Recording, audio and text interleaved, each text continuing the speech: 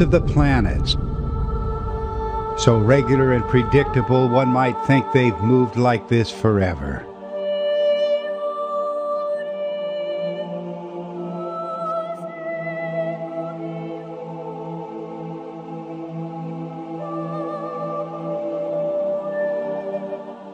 What a contrast to things claimed by the first astronomers of ancient Mesopotamia and numerous cultures that followed.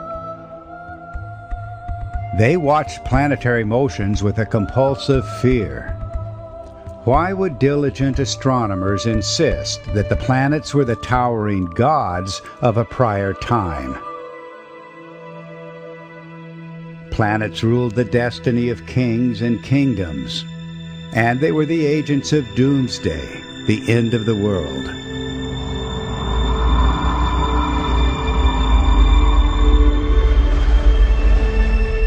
What was it about planets that inspired such reverence and fear?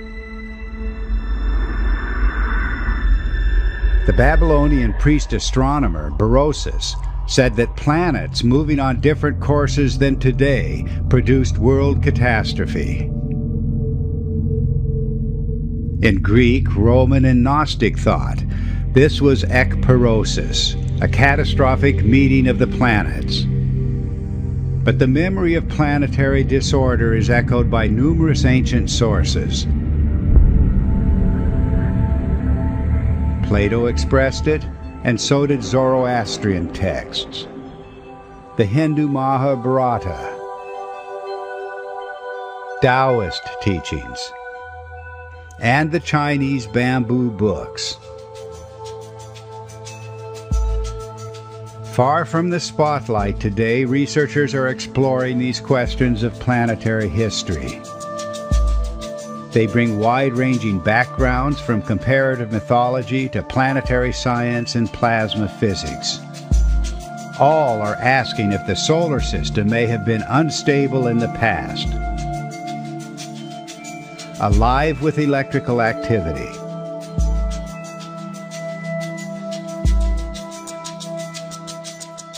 Allow this question to be asked, and the doors open to a new understanding of the past, of planetary history, and the rise of civilization itself.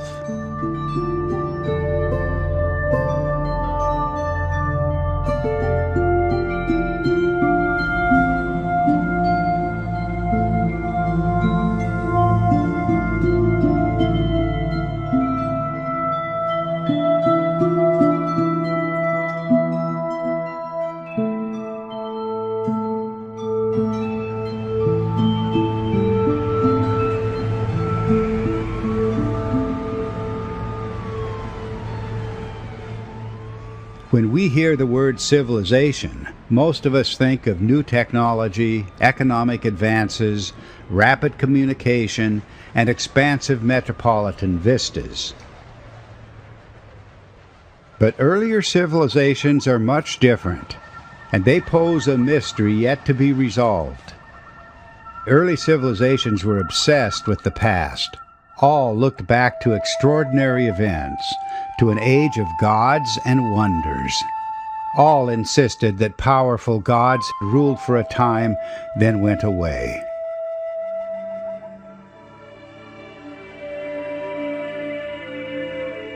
Monumental cultures arose, and the monuments themselves meant much more than a display of technical skill.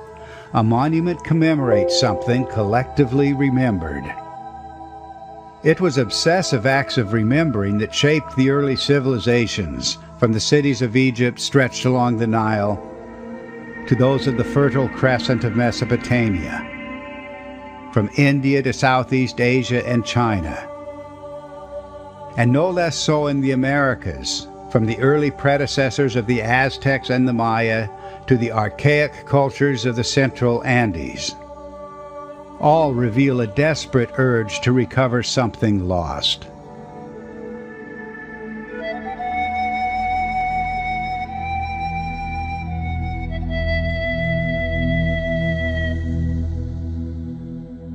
Egyptian priests called this lost epoch the Age of the Primeval Gods.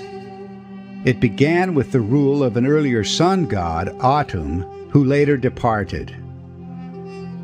Cuneiform texts speak of the god An, who ruled with terrifying splendor, then fled the scene.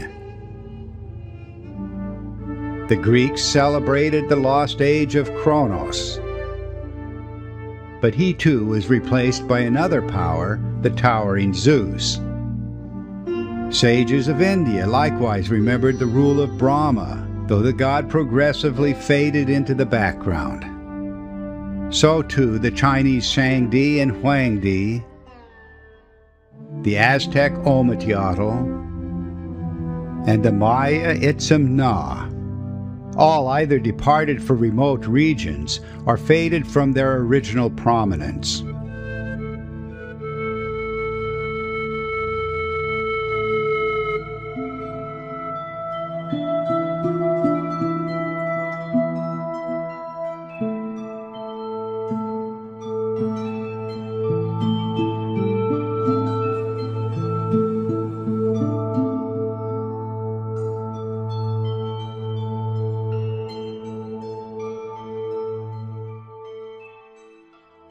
Through festivals and symbolic rites, the cultures remembered the lives of the gods. With every temple construction, every sacrifice, every harvest, every installation of a king, every royal marriage, every New Year festival the celebrants reenacted critical turns in the lives of the gods themselves.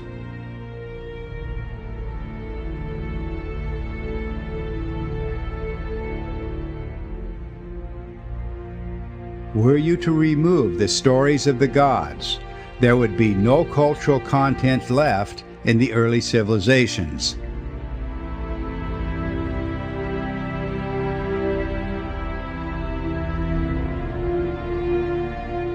Who were the gods?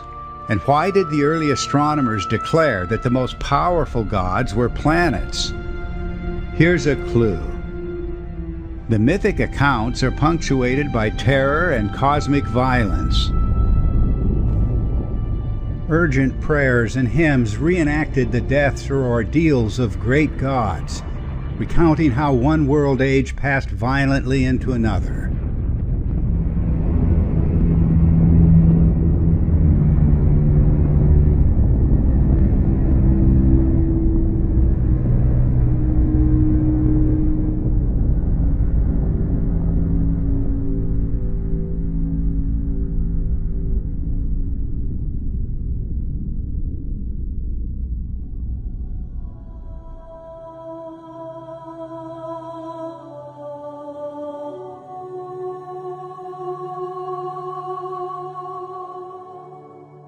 At least some of the artistic and mythological themes will be familiar to you.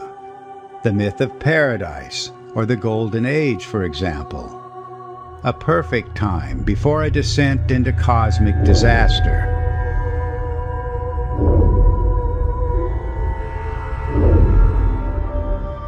An exemplary sun, revered as the king of the world, ruling before the present sun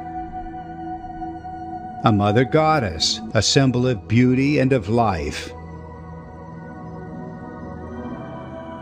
A great warrior or hero born from the womb of that very goddess to rescue the world from monsters that are also unexplained.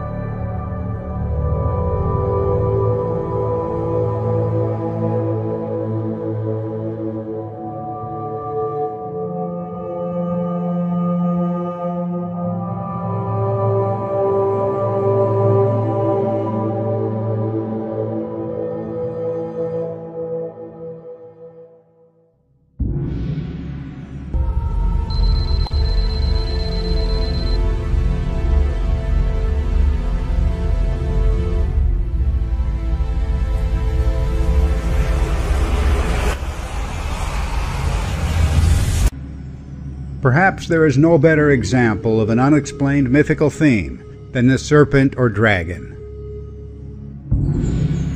This remarkable creature with origins in prehistoric times has no counterpart in the biological world.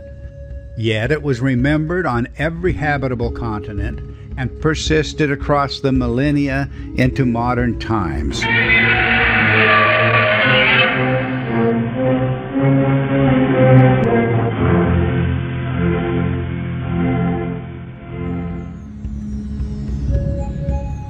Well, we can find amusement in the comic book versions of this monster.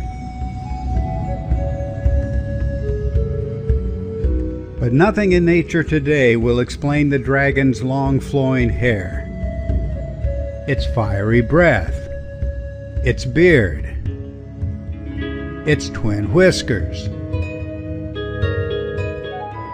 its wings or effusive feathers. Or its global occurrence as twins, or its global association with lightning.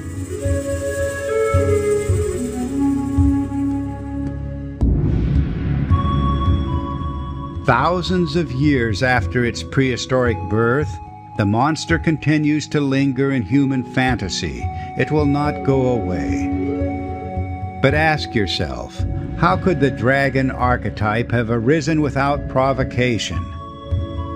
And should we not wonder if uniquely modern prejudices are the primary reason the mystery remains unsolved? With one voice, every ancient culture insisted that our world was once a much different place.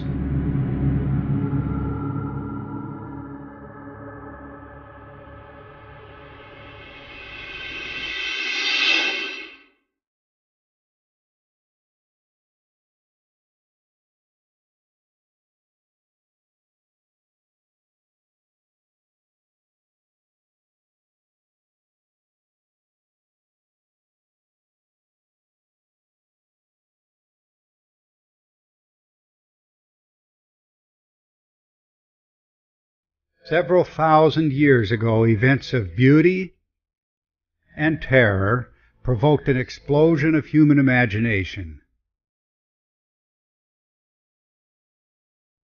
This was the myth making epoch of human history. First came the enchanted realm, the theater of venerated gods and goddesses. The gods were prodigious.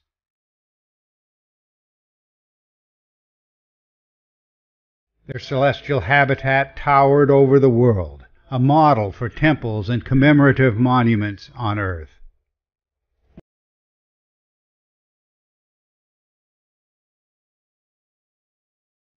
But the gods grew capricious. One celestial power metamorphosed into another.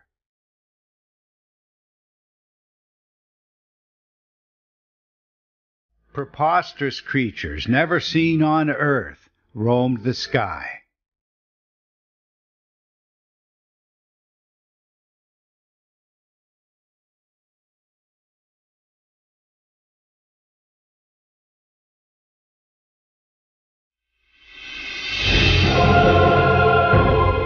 The gods turned violent as heaven itself fell into chaos. Then celestial warriors and monsters appeared to battle in the heavens, wielding weapons of thunder and fire and stone. Our challenge will be to account for this outpouring of mythic content.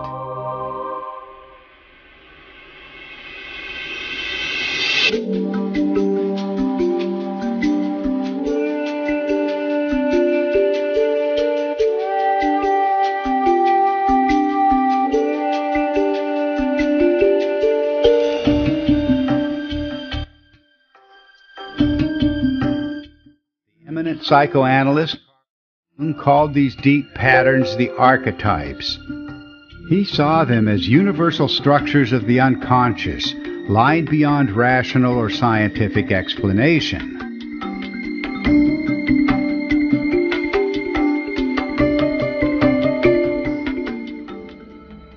Yes, the myths seem incomprehensible to us, But the archetypes offer a pathway through the confusion.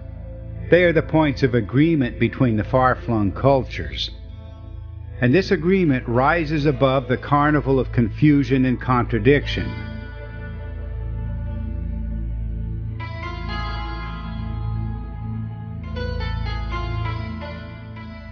Every major culture remembered a cosmic mountain around which the heavens turned.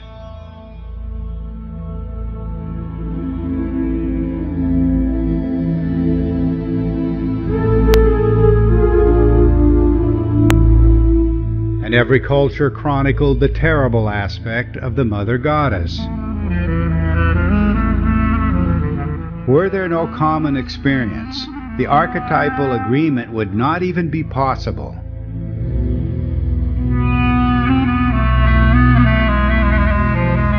All that is required here is a willingness to meet the archetypes and without fear or prejudice or any advanced assumptions to hear their message.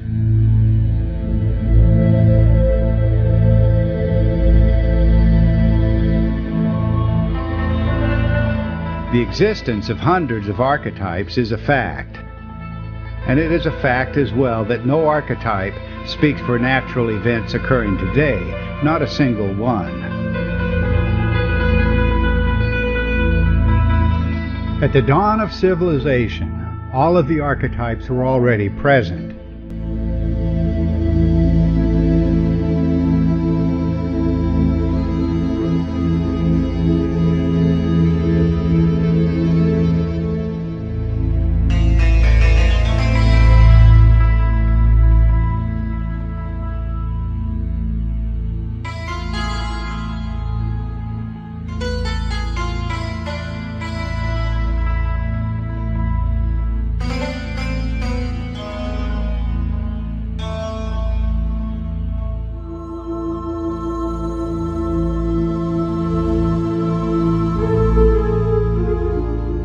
Today we are fascinated by the monumental scale of the antique civilizations.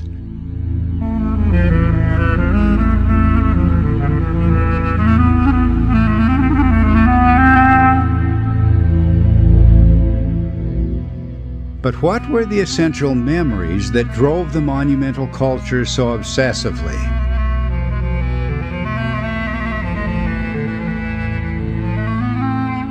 The threads of evidence trace deep into the prehistoric past, a world barely recognized, but not entirely lost.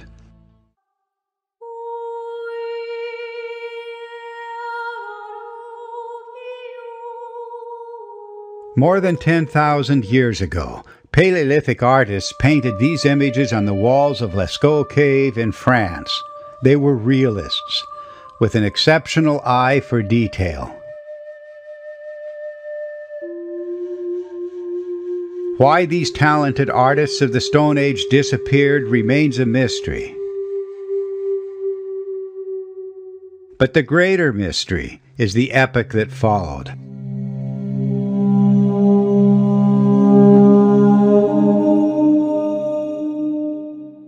It seems that Neolithic artists lost the ability to depict nature as we know it.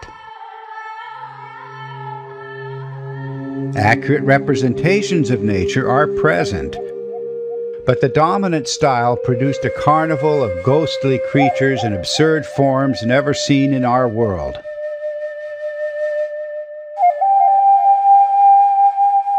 How did this tendency arise? Not in one land alone, but on every habitable continent.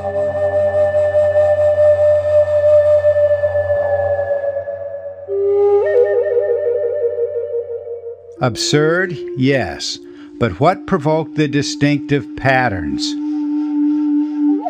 A stick man with no head, just a duck or other bird on his shoulders? Hundreds of variations on this theme occur in the American Southwest. But the pattern doesn't end there.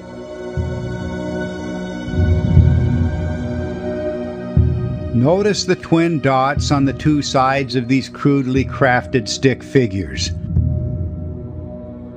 One instance alone is just a curiosity. But widespread patterns must have an explanation. And other details only accent the irrationality.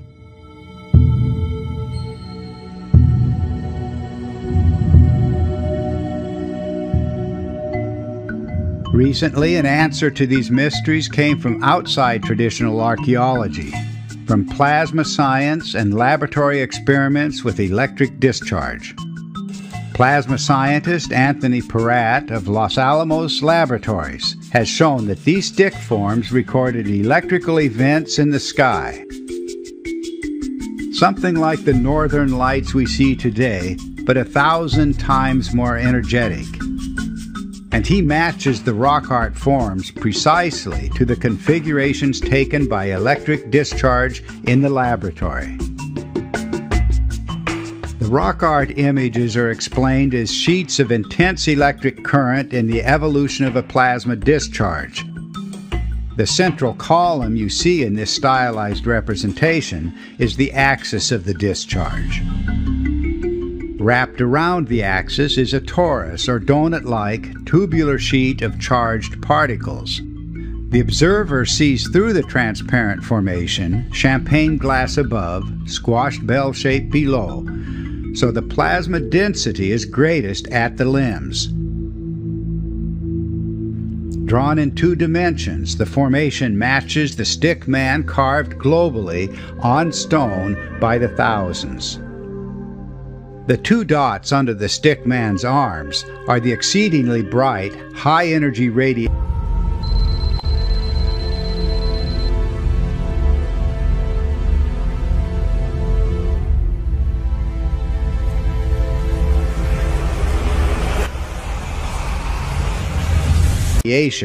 called synchrotron radiation, emitted from the center of the torus. The current sheets continually warp as the electric discharge progresses, and this form is not uncommon. A two-dimensional representation might look like this. Peratt's work has shown that the stickman, the duck-headed version of the American Southwest, and variations from Hawaii to Saudi Arabia, is a plasma discharge formation, a subject on which he is an acknowledged world expert. Peratt's investigation is entirely independent from our own.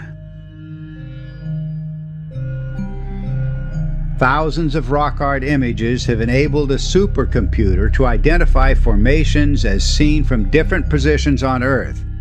The fit that he has documented cannot be accidental. And yet our own investigation, which preceded Peratt's by almost three decades, converges with his in extraordinary ways, as I shall clarify in the second episode of this series. For scholars and scientists as a whole, rock art remains an unsolved mystery. For 200 years, experts have debated over the vast library of images on stone. Definitive considerations are now in hand, calling for a new perspective, one that follows the compelling evidence for high energy electrical events in the ancient sky and those who pursue this line of investigation must not be afraid to ask how the movements of planets may have contributed to an electrified cosmic environment, of which science knew nothing only a few decades ago.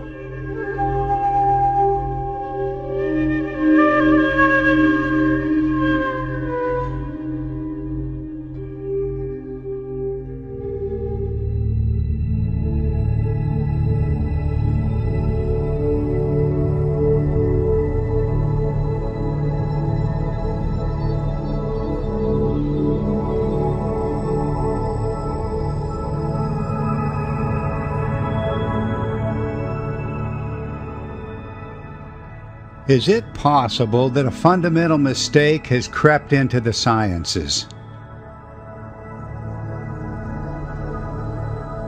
Today we witness an unshakable confidence in the regularity of planetary motions.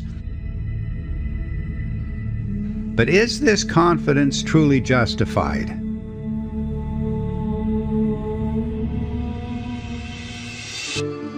I need to take you back about 37 years. That was when the controversial theorist Immanuel Velikovsky lit a fire for me. He was the author of the book Worlds in Collision, first published in 1950, and several other books that followed. In these books, he reinterpreted both planetary history and human history. A distinguished scholar, colleague of Albert Einstein, Velikovsky had claimed that planets formerly moved on unstable courses, and more than once a planet came close enough to Earth to cause global catastrophe.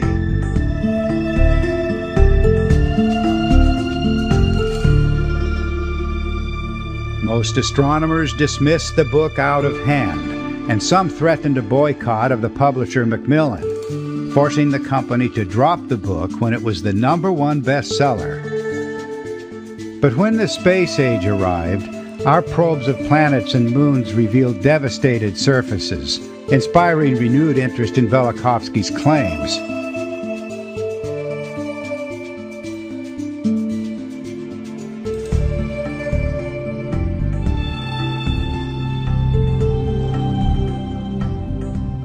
Velikovsky's cooperation, I had the privilege of publishing a 10 issue series on his challenge to science.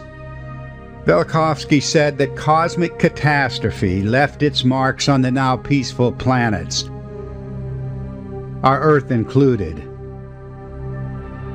He said that the planet Venus appeared in the sky as a comet, and that its near collision with the Earth decimated early civilizations.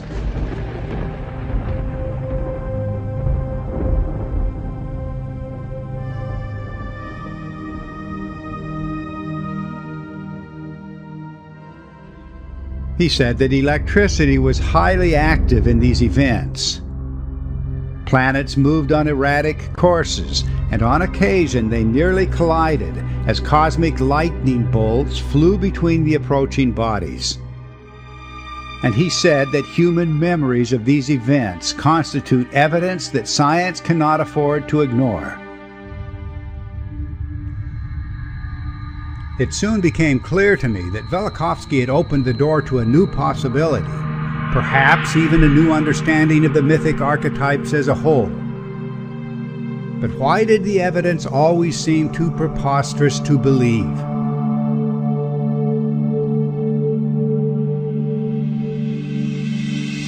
Why did all of the archaic cultures stake everything on memories of the gods as towering bodies in a former sky?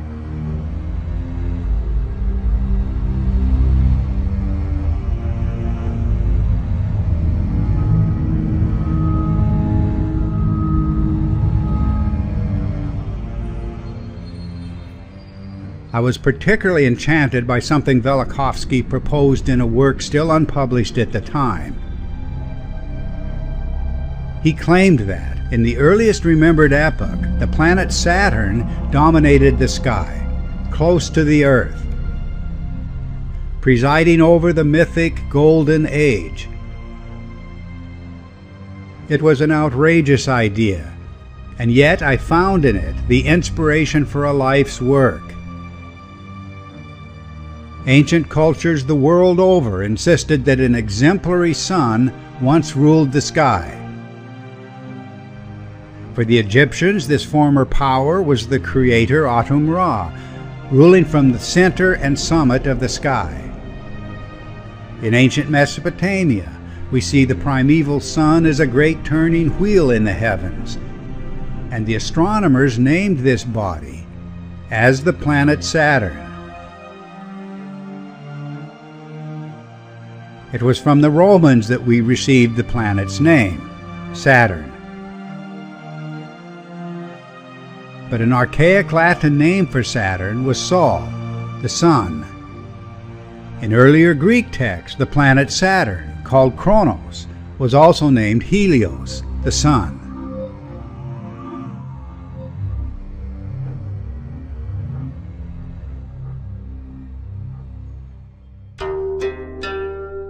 Even the alchemists preserved this preposterous identity.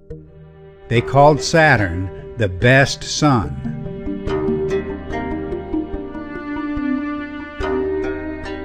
Best sun, superior sun, exemplary sun. The core idea always pointed directly to the axis of the sky, the celestial pole around which the heavens visually turn.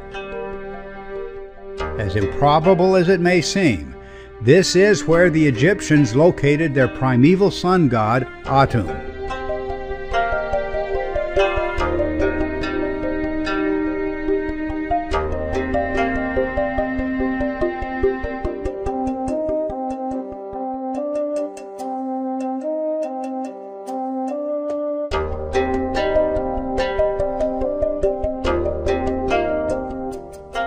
This motionless spot in the heavens is precisely where later astronomical traditions from Greece to Persia and China all claimed that Saturn had ruled the world, a contradiction of every principle we take for granted today.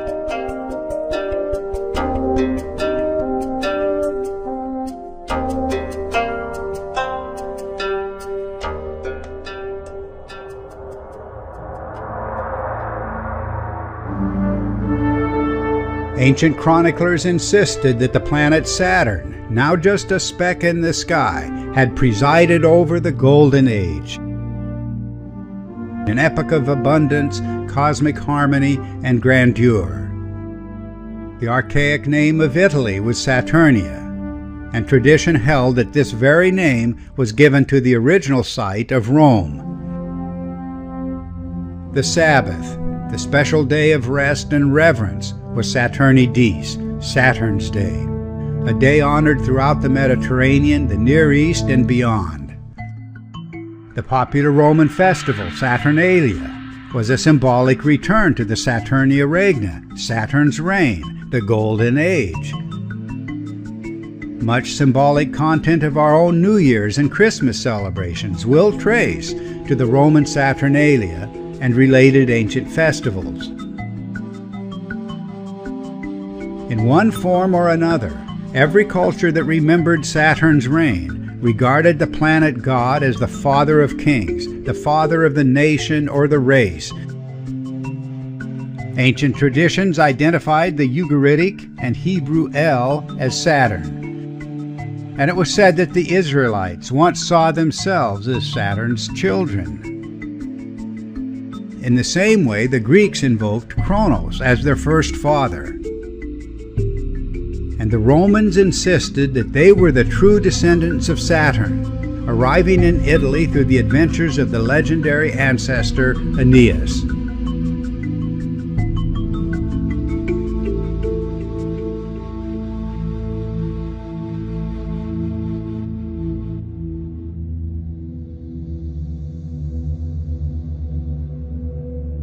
But there was a dark side to Saturn reflecting the catastrophic end of the Golden Age. This was when, in the words of Manilius, Saturn, the first father, fell to the opposite end of the world axis. This sudden onset of chaos, when heaven itself seemed to fall out of control, has haunted civilizations across the millennia, erupting as doomsday anxiety, the fear that what happened once will happen again. It's almost impossible to believe that ancient people sacrificed their own children, either symbolically or literally, to the planet god Saturn. Saturn was remembered as the devourer of his own children, and as Moloch, demanding sacrifice and as El, or the Elohim, commanding Abraham to sacrifice his own son, Isaac.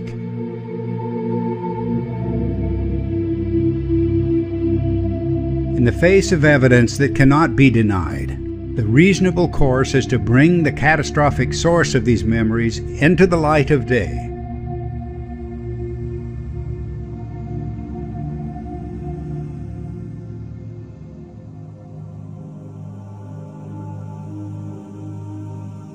my book The Saturn Myth, published by Doubleday in 1980, began the reconstruction of a spectacular formation formerly seen in the sky, a gathering of planets looming immense above the ancient witnesses.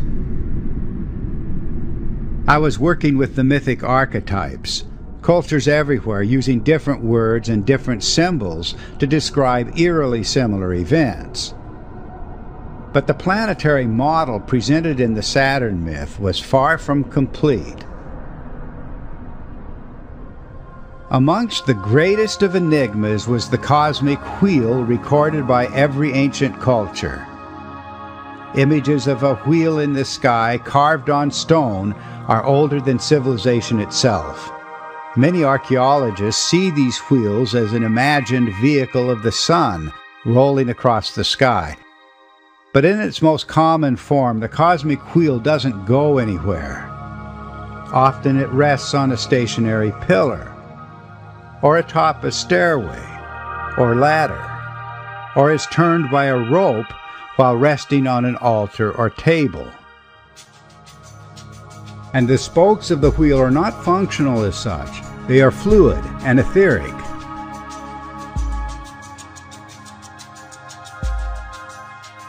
Archaic gods and heroes hold a wheel in their hands. A cosmic wheel served as the throne of gods and cultural heroes and wise men, symbolically replicated in the wheel thrones of kings on earth. The wheel throne of Buddha underscores our point and even the popular footprint of Buddha recalls the same wheel in heaven. The inspiration did not come from our sun. Compare these prehistoric instances of the pictographic wheel from Ireland and from California. Different parts of the wheel are clearly evident. A large circle or sphere, though not always present, a central star, and a smaller, darker circle or sphere inside the star-like form. The images do not depict a single object, but three objects, as demonstrated here, where the artist placed the small dark sphere well below the central star. I can assure you that the placements are not random. These forms in the sky were planets in close congregation and immense above the ancient sky worshippers.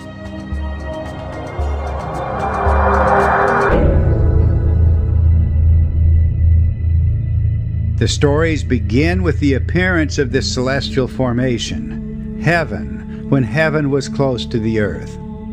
The original unity of the sky formed by the Great Conjunction, when a straight line or arrow could pierce the hearts of the gathered powers. The motionless, superior sun, ruling before the present sun. The father of kings, and first in the mythic line of kings and a dying or displaced god. In later times, the first astronomers identified this overarching ruler of the sky. They claimed it was the planet Saturn, remembered as the owner of the cosmic wheel before the god departed for distant realms.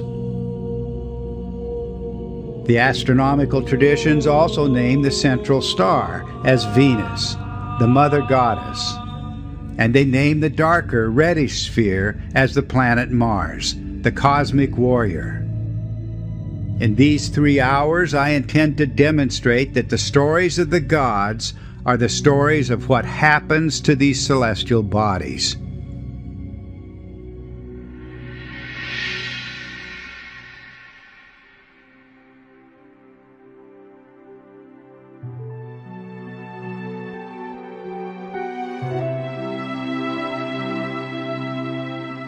You're looking at reconstructed images of a formation in the heavens just a few thousand years ago. The configuration evolved through many phases, evoking reverence and awe, a model for kings and kingdoms for thousands of years. Great temples and cities, and sacred mountains all pointed back to the mythic age of gods and wonders.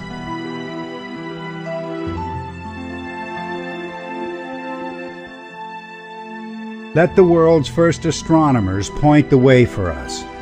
They knew that what the myths and hymns and prayers called gods were planets and aspects of planets. Planets appeared close to the Earth in a heaven spanning configuration. Memories of that celestial splendor still surround us, even if humanity later forgot much more than it remembered. Reconnecting with our forgotten past will be essential. Essential for our own cultural integrity. Essential for the study of human consciousness. And essential for all of the sciences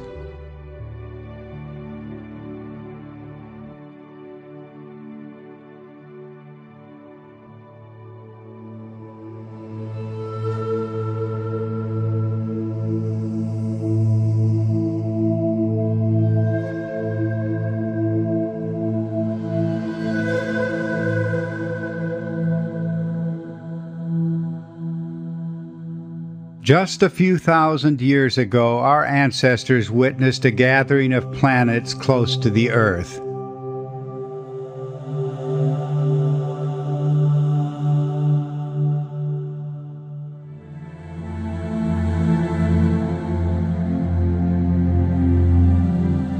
An explosion of human imagination occurred, an outpouring of mythology and symbolism that defined cultures for thousands of years long after the celestial provocation itself was forgotten.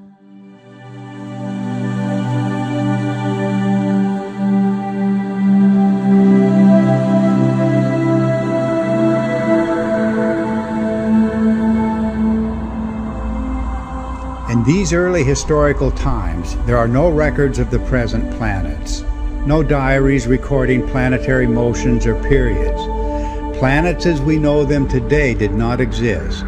These were the gods, awe inspiring, and at times capricious and terrifying.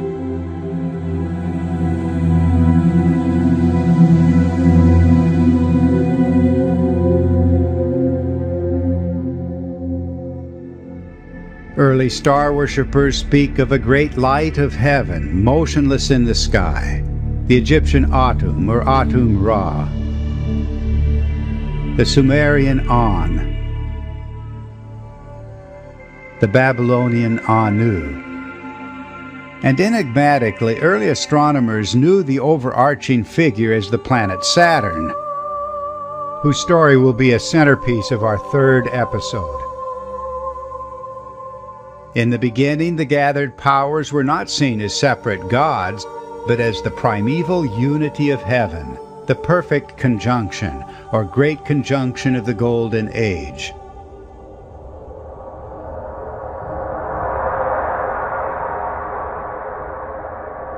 A massive sphere hung in the sky, and in its center stood a radiant star surrounded by explosive streamers.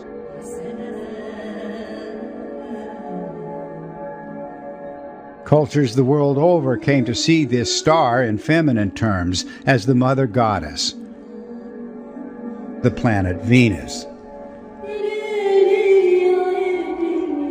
Remembered as the great star, the mother of all stars.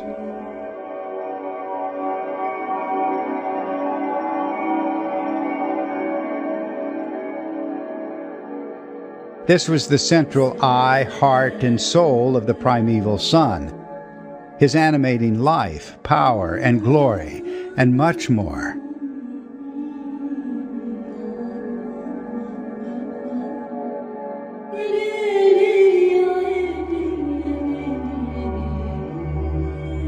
One of the most enigmatic cultural themes is the transformation of the life giving goddess into a monstrous form, attacking the world.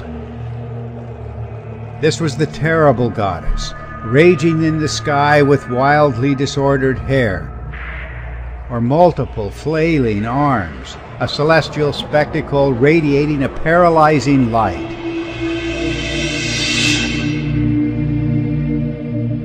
When instability and displacement occurred, the streamers discharging from Venus grew chaotic, giving the planet a frightful countenance.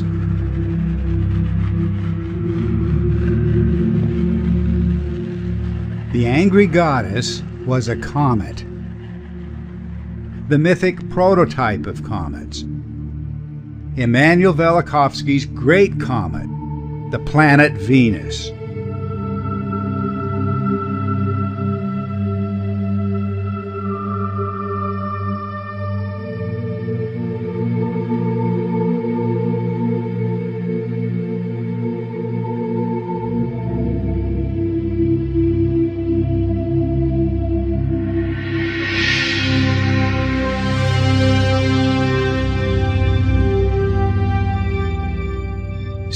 Front of this central star was a smaller, darker, reddish sphere.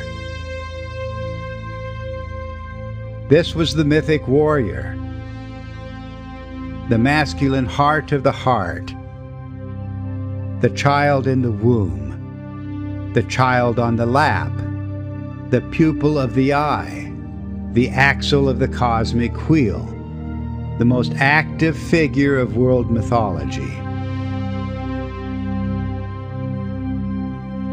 Sky worshippers everywhere knew the identity of this warrior, the victor over dragons and chaos monsters.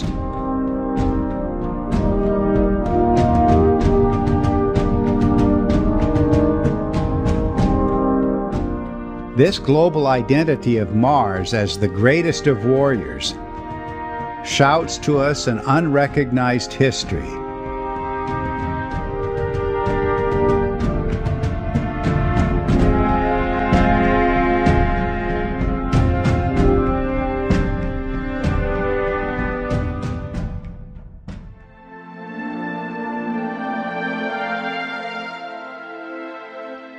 On the great sphere of heaven, a bright crescent appeared, with the orb or star of Venus between its horns.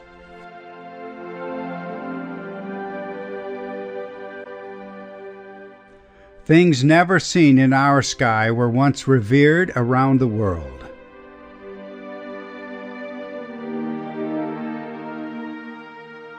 As the Earth rotated on its axis, the crescent marked out a cycle of day and night. Crescent below in the phase of greatest brightness, crescent above in the phase of dimming. Though our sun was present, casting its light on the configuration, it was not itself in the visual theater of the gods. I called this the polar configuration because the Earth itself rotated in alignment with the forms in the sky placing these forms at a celestial pole around which the heavens visually turned.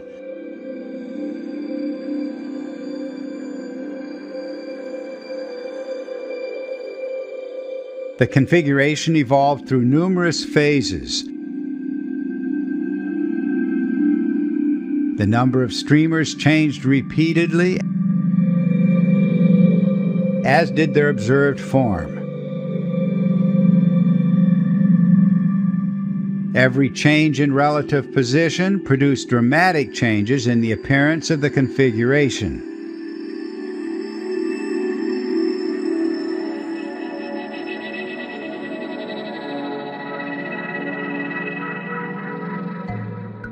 In 1996, the Canadian filmmaker Ben Gadlow spent many months in Portland producing a 90 minute documentary on the reconstruction. At that time, many dynamic issues were largely unresolved. But later that year, the Australian physicist Wallace Thornhill flew to Portland for a 30 day visit. He convinced me that the forms I'd reconstructed were electrical. They were plasma discharge streamers stretching between planets. He explained that in a radial electric discharge, both the number of streamers and their concrete form will change with the intensity of the discharge. The whirling forms I'd reconstructed and the common symmetry, which I'd often laughed about, did indeed have a physical explanation. At the time of his visit, Wal Thornhill had devoted more than 25 years to exploring what he called the electric universe.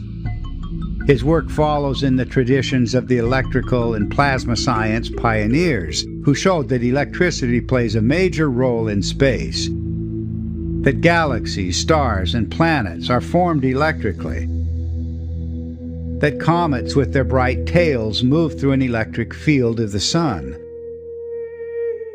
his electrical interpretation extended to the origin of bizarre landscapes on planets and moons, now explained by the well tested principles of electrical arcing. In an electric solar system, if two planets or moons approach each other from regions of different potential, electric discharge will occur, producing plasma formations stretching between the approaching bodies. Plasma laboratory experiments can tell us what the formations might look like. The backbone is typically a column of twisted filaments, but disks and embedded cylinders also arise to evolve in spectacular ways.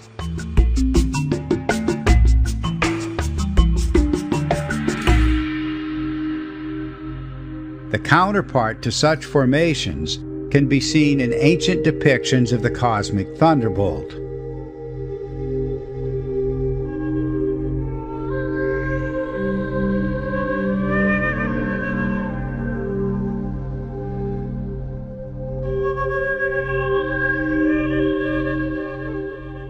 But what an outrageous idea!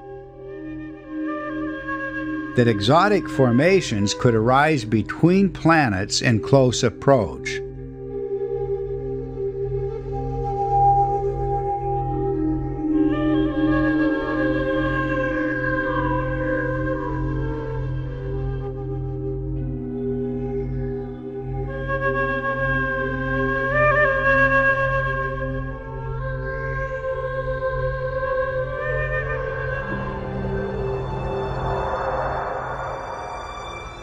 What then was the relationship of the cosmic thunderbolt to the magical swords, arrows, clubs, and spears of the great warrior gods?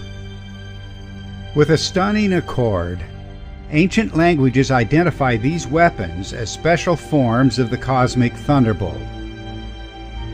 Scholars have already identified the sword and arrows of Apollo, the spear of Zeus, the trident of Poseidon, as aspects of the divine thunderbolt. The same linkage occurs with the Greek Ares, the Latin Mars, whose sword was his identity.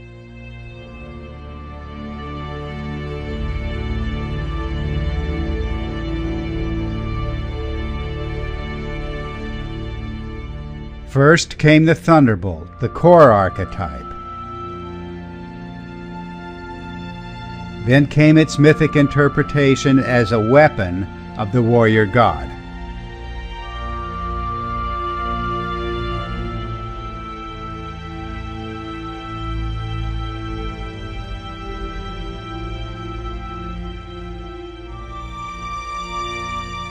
Placed in the hands of the gods, the cosmic thunderbolt provides a bridge for us, joining the mythic world to the leading edge of plasma science.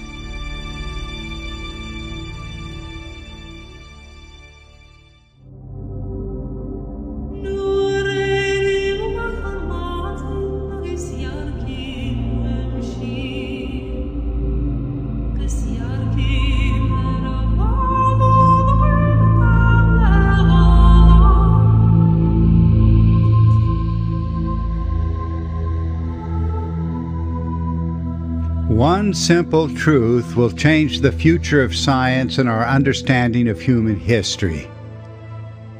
The ancient sky bore no resemblance to the sky we see today.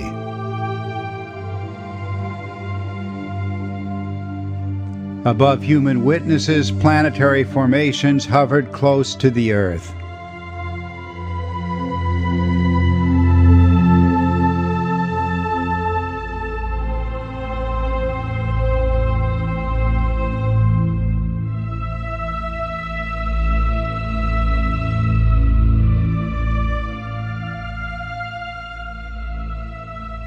One electrical form metamorphosed into another in the celestial dance of the mythic star goddess and the cosmic warrior, astronomically identified as the planets Venus and Mars. Ancient observers saw the head of the warrior king wrapped in the radiance of the star goddess. It was his crown of glory.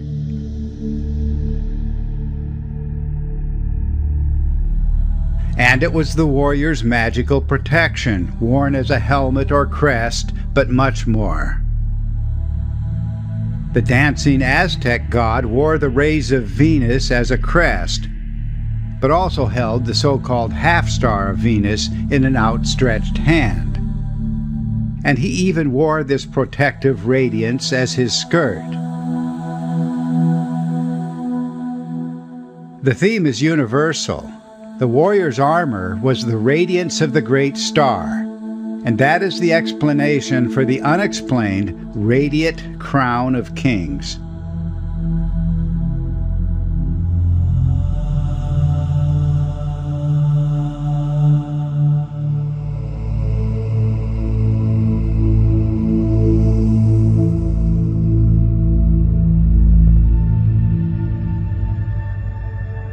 As the forms of the configuration changed, the mythic interpretations changed as well.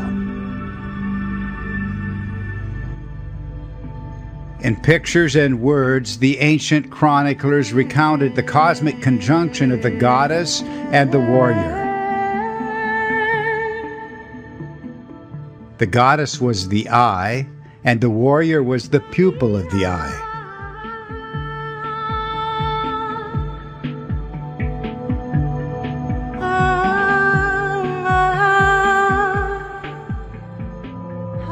Two spheres in alignment inspired a mythical interpretation as an eye and pupil inscribed upon the hand of God.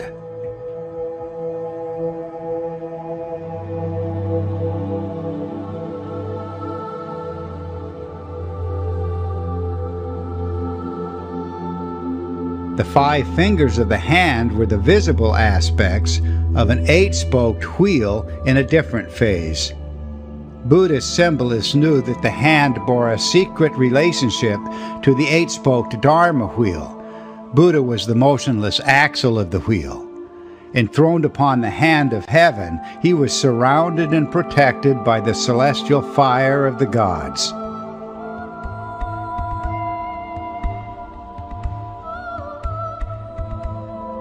Every form that arose provoked a variety of mythical interpretations, not just a single idea. The spokes of the wheel were the animating soul and power of the universal sovereign, exploding into life at sunset. That is the meaning of the mythic plant of life.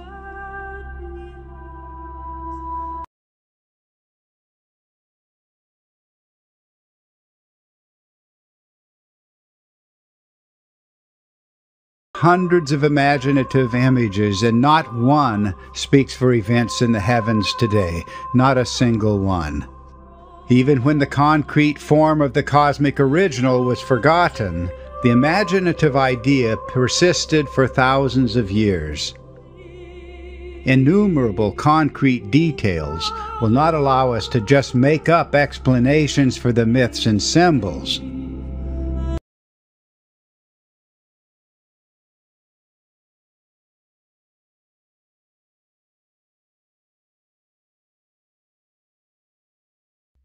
Some symbols remained abstract, but more often they added mythical interpretation to the underlying form. And many mythical images, seemingly incompatible, will trace to the same tangible form.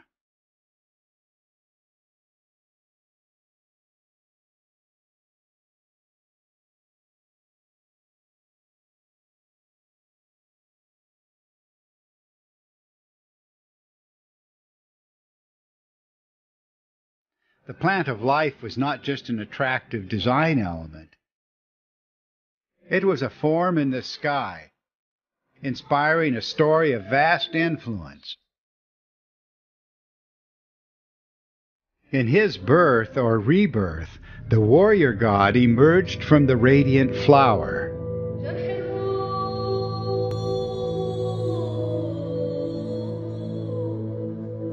The diverse mythical interpretations and the larger stories told about these events all point to a unified substructure of human memory.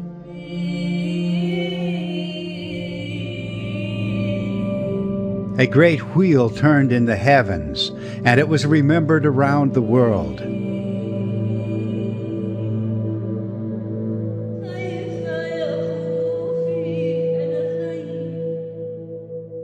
Even the modest displacement of the aligned powers was captured in ancient images.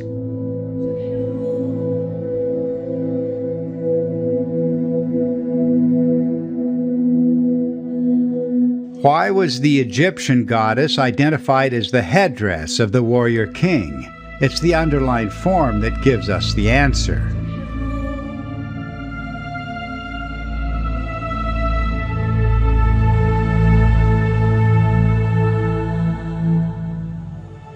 A primeval sun ruled the world, shining most brightly in the night sky. A crescent came to adorn this primeval sun, and it certainly was not our moon.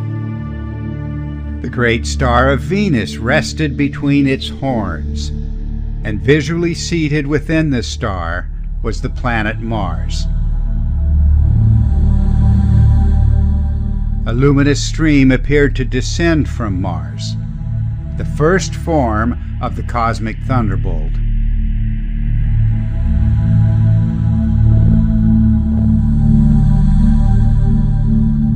Human imagination saw a sword or dagger thrust into the region below.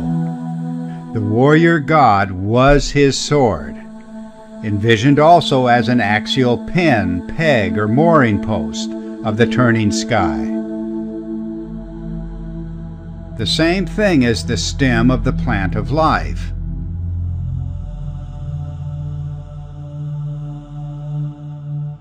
and the pillar like lower limbs of the goddess.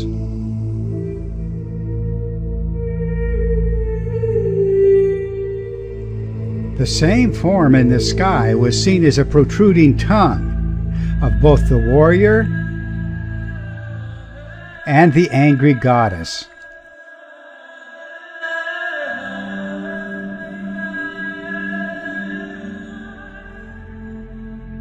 A pronounced movement of Mars occurred close to but not precisely on the planetary axis.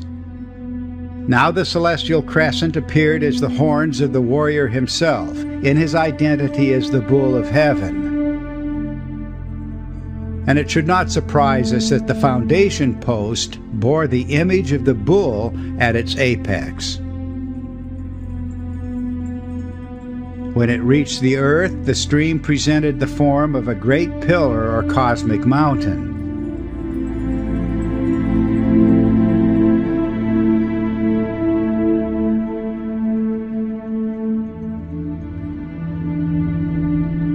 Perhaps it is too much to believe that the famous bull of heaven was just a pillar and shining horns.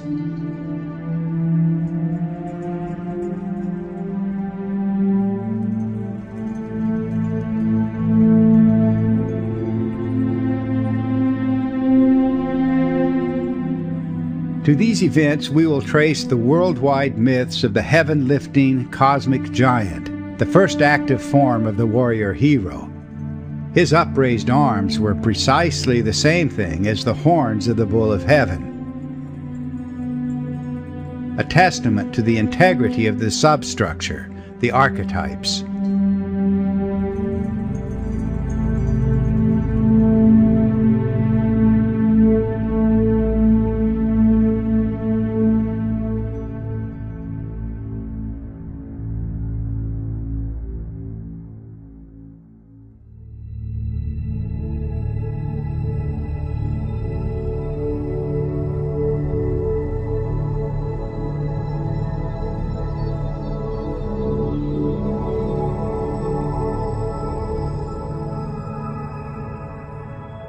In some phases with the movement of Mars, dust and electrified plasma streaming between Mars and Venus became visible to terrestrial observers. Even small changes in this dusty plasma stream, were we to view the formation from space, would create distinctive differences in the appearance of the configuration. The great kings of ancient times wore conical crowns in numerous and always enigmatic varieties. For these revered forms, the experts can find no referent in nature today. Yet the priestly chroniclers of antiquity knew that these crowns imitated the vestment of a cosmic warrior, the prototype of the warrior king on earth.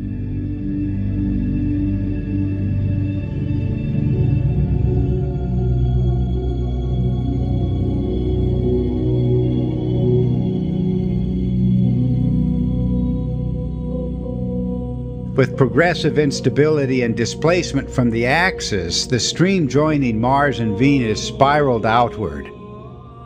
This was the mother goddess herself, the radiant eye, heart, and soul of the primeval sun, now externalized as a curling lock of hair.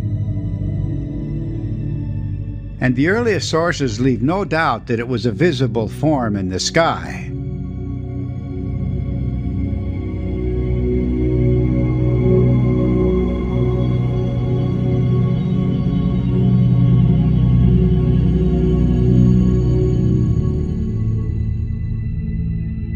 The sidelock of the warrior king mimicked that of his predecessor, the cosmic warrior.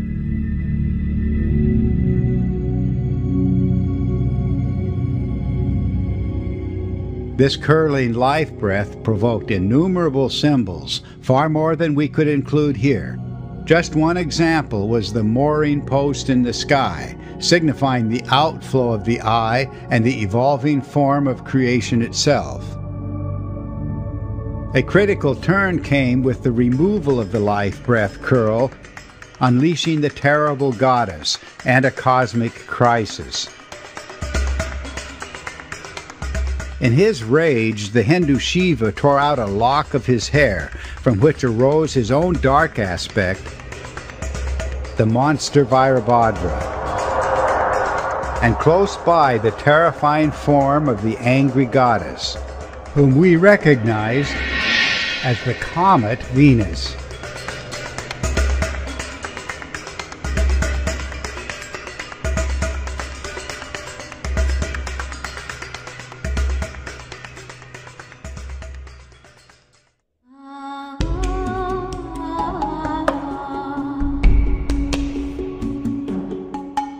The Medusa archetype was only a nuance away from the celestial serpent or dragon, with its bright filaments, effusive feathers, long flowing hair, and lightning emanations, the global symbols of the great comet.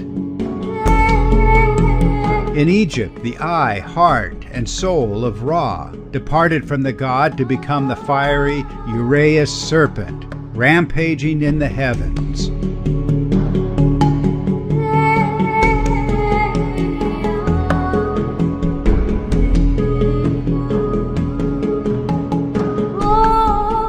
Astronomical traditions throughout the Mediterranean and Near East confirm that this goddess was the planet Venus. The ancient Sumerians identified Venus as Inanna, the serpent or dragon mother, unapproachable in her rage.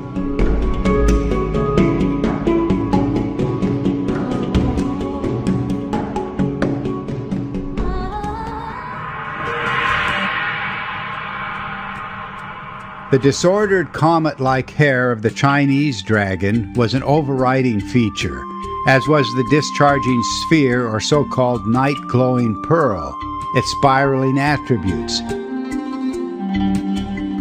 and the lightning emanations of the dragon itself. Long after the remembered events, the Aztecs still knew the comet as streaming feathers.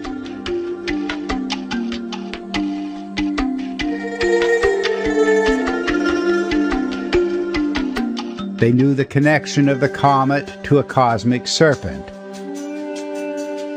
And they remembered the connection of both to the planet Venus.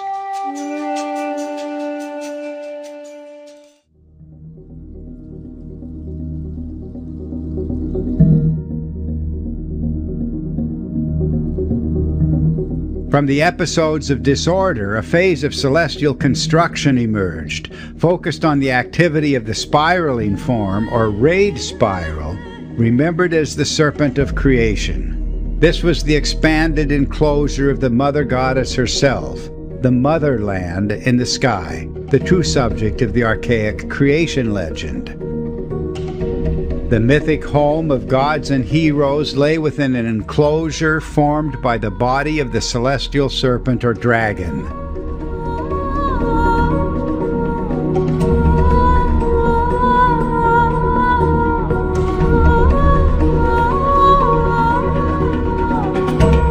The evolving forms noted here are provable phases in the biography of the Mother Goddess, largely ignored but confirmed at the level of concrete detail in the early cultures.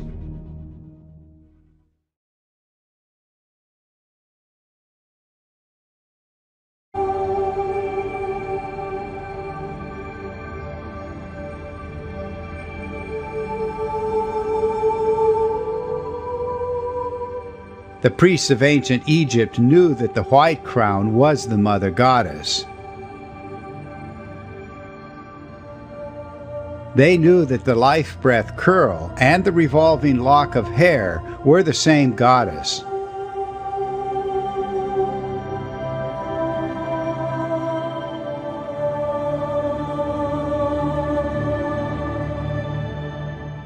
Across all of Egypt, the chroniclers remembered the luminous spiral with its radial projections as the agent of celestial construction.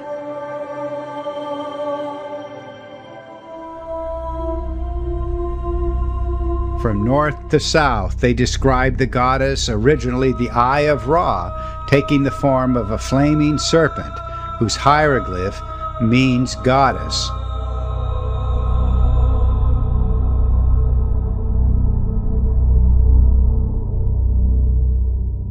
And it was this very serpent that came to form an enclosure, the boundary of Neterta, the celestial kingdom.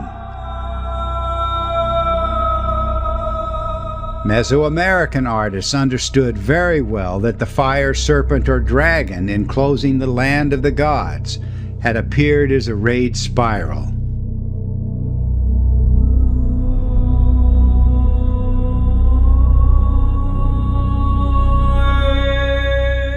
The created land of the gods, emerging from the dance of the goddess and the hero, presented four streams of light and life. Here was the motherland in the sky, the celestial model for every kingdom and city on earth, the lost land of mythic ancestors, divided by four rivers or animated by four explosive winds and turning as a great wheel in the sky. To be sure, the evolution of myth over time brought endless elaborations of the archetype, Yet, even in the enthusiasm to extend the symbolism, the substratum of human memory does shine through.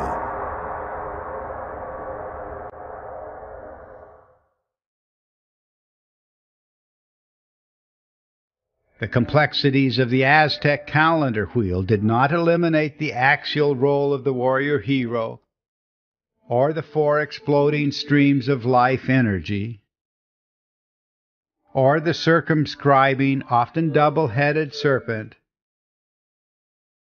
or the identity of that serpent as the fire of the gods.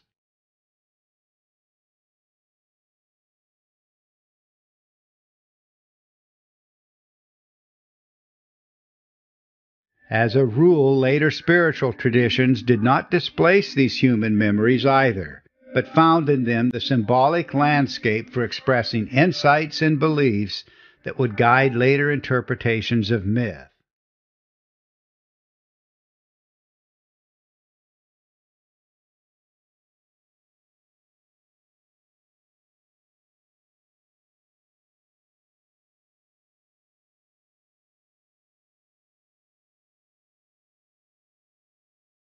Lastly, we must acknowledge one of the most pervasive symbols of world mythology. All mythic traditions agree that the land of the gods rested on the golden or fiery mountain of heaven.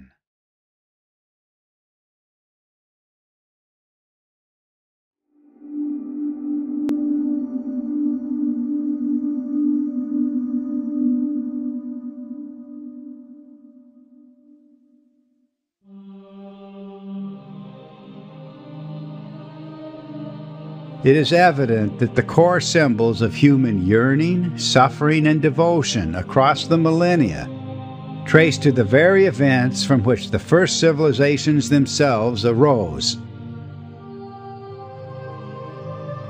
Now the question must be asked if the great mythic archetypes are explained by events unknown to our world, what can the electric universe and the leading edge of plasma science tell us about the ancient experience.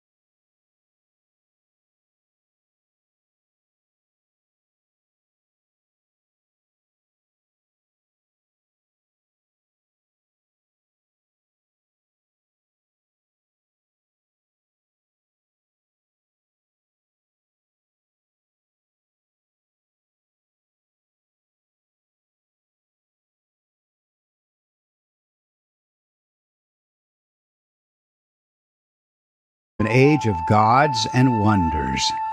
All insisted that powerful gods ruled for a time, then went away.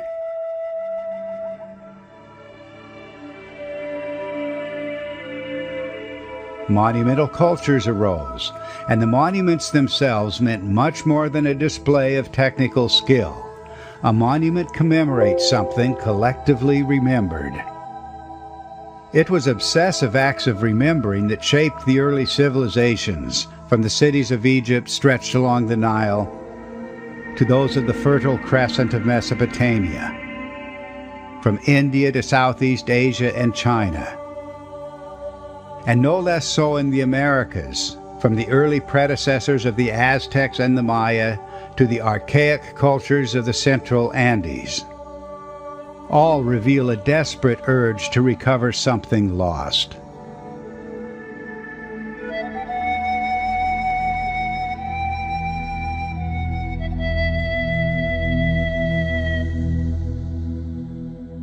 Egyptian priests called this lost epoch the Age of the Primeval Gods. It began with the rule of an earlier sun god, Atum, who later departed. Cuneiform texts speak of the god An, who ruled with terrifying splendor, then fled the scene. The Greeks celebrated the lost age of Kronos. But he too was replaced by another power, the towering Zeus. Sages of India likewise remembered the rule of Brahma, though the god progressively faded into the background. So too the Chinese Shangdi and Huangdi, the Aztec Ometeotl, and the Maya Itzam Na, all either departed for remote regions or faded from their original prominence.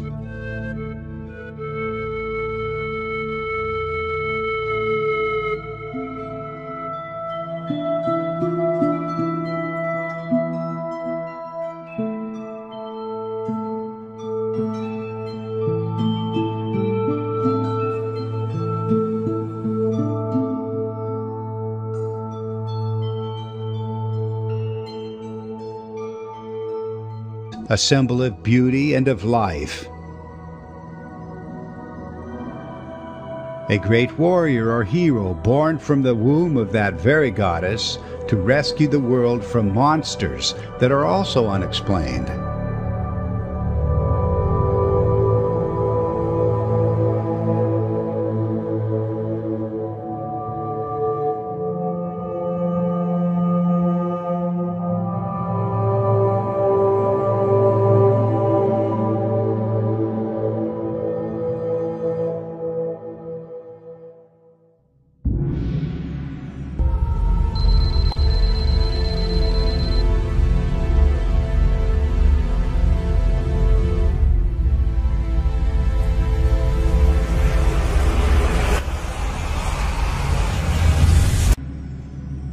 There is no better example of an unexplained mythical theme than the serpent or dragon.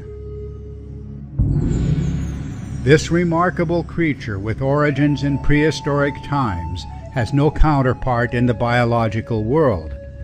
Yet it was remembered on every habitable continent and persisted across the millennia into modern times.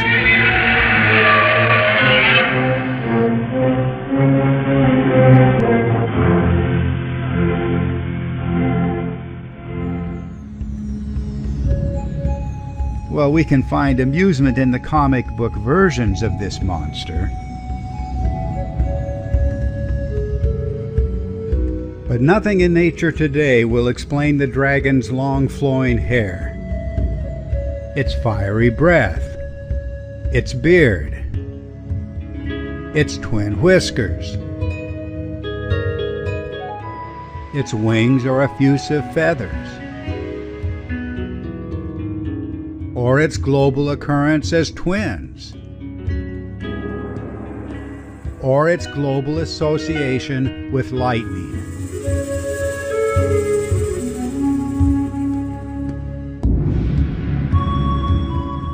Thousands of years after its prehistoric birth, the monster continues to linger in human fantasy. It will not go away. But ask yourself, how could the dragon archetype have arisen without provocation? And through festivals and symbolic rites, the cultures remembered the lives of the gods. With every temple construction, every sacrifice, every harvest, every installation of a king, every royal marriage, every New Year festival. The celebrants reenacted critical turns in the lives of the gods themselves.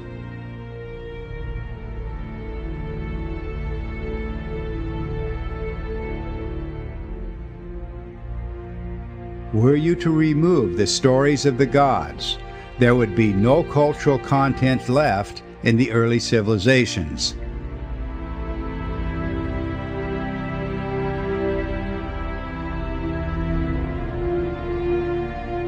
Who were the gods? And why did the early astronomers declare that the most powerful gods were planets? Here's a clue. The mythic accounts are punctuated by terror and cosmic violence. Urgent prayers and hymns reenacted the deaths or ordeals of great gods, recounting how one world age passed violently into another.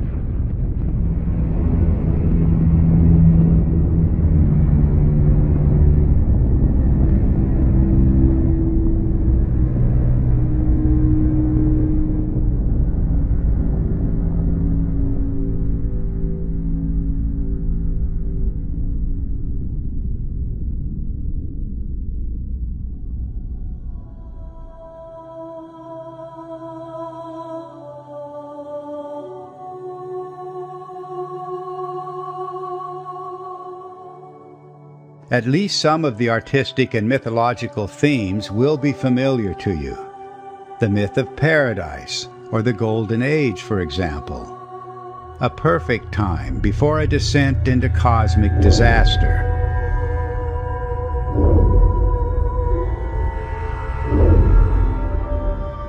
An exemplary sun, revered as the king of the world, ruling before the present sun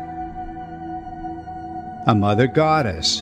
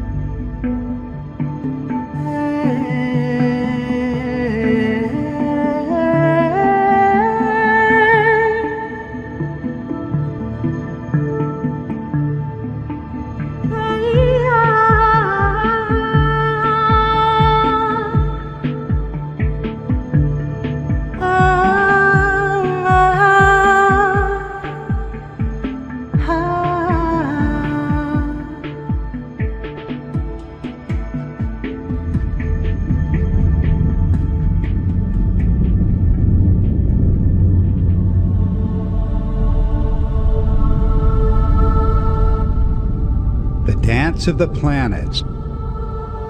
So regular and predictable, one might think they've moved like this forever.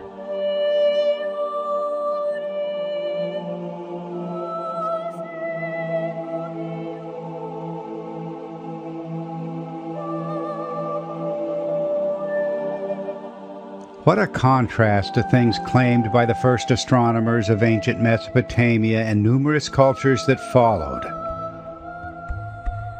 They watched planetary motions with a compulsive fear. Why would diligent astronomers insist that the planets were the towering gods of a prior time? Planets ruled the destiny of kings and kingdoms, and they were the agents of doomsday, the end of the world.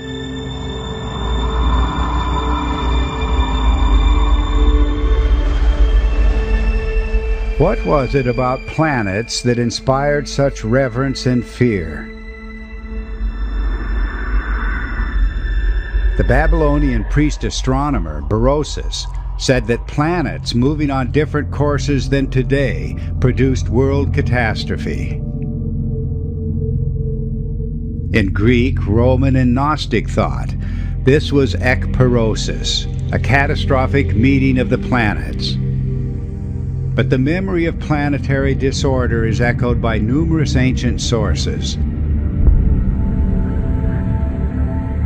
Plato expressed it, and so did Zoroastrian texts. The Hindu Mahabharata, Taoist teachings, and the Chinese bamboo books. Far from the spotlight today, researchers are exploring these questions of planetary history. They bring wide-ranging backgrounds from comparative mythology to planetary science and plasma physics. All are asking if the solar system may have been unstable in the past, alive with electrical activity,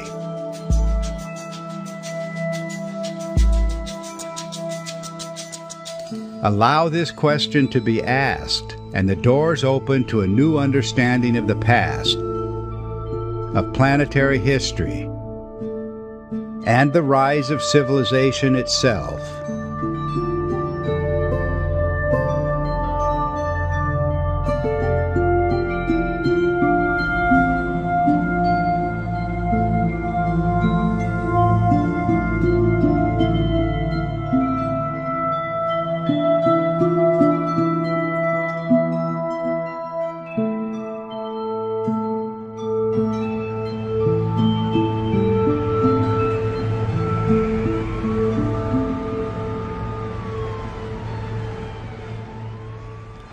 Hear the word civilization, most of us think of new technology, economic advances, rapid communication, and expansive metropolitan vistas. But earlier civilizations are much different, and they pose a mystery yet to be resolved. Early civilizations were obsessed with the past. All looked back to extraordinary events,